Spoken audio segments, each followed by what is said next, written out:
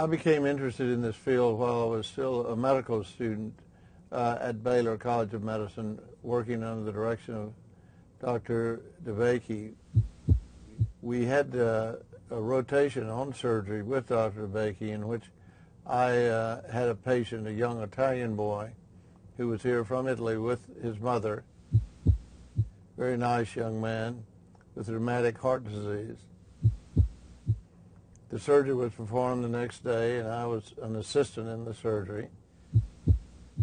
He initially did well, but later that evening his heart stopped.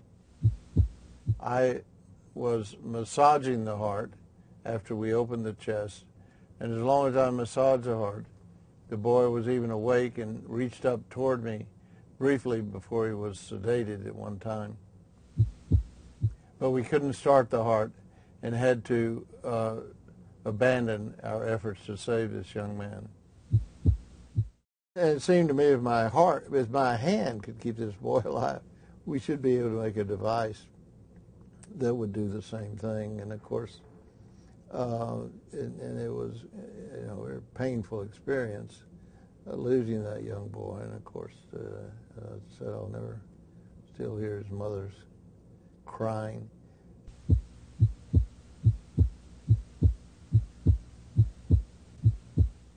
So it's it, it, turned out to be a lot harder than we thought.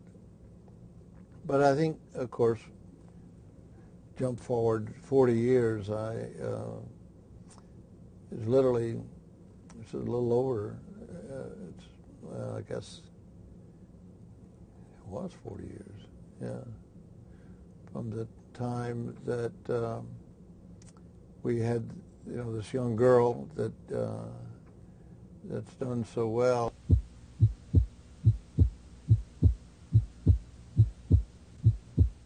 we took her to the uh, operating room and opened her chest, and I was massaging her heart because her heart had stopped by then.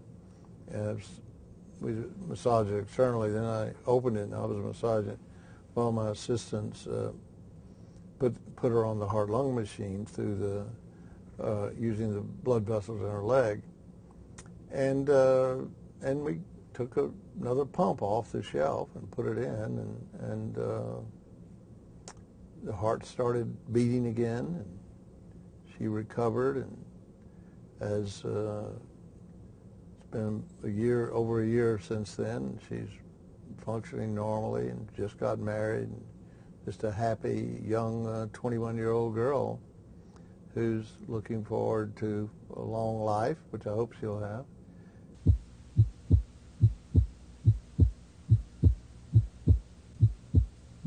And uh, and I think it's it's uh, sort of the end of about a you know the a 40 year odyssey in that regard, uh, starting with this poor Italian boy that we couldn't do anything for 40 years ago, and um, working for the idea of something we could pull off the shelf and and uh, be life saving, and, and we've we've done that.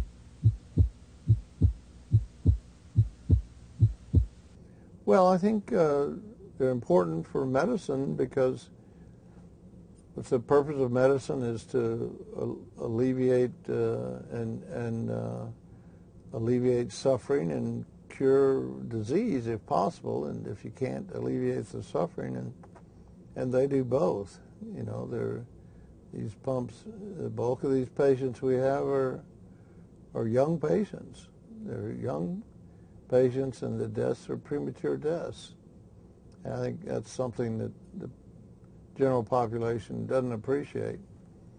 To be able to address those, we need a better way of supporting the heart than a transplant.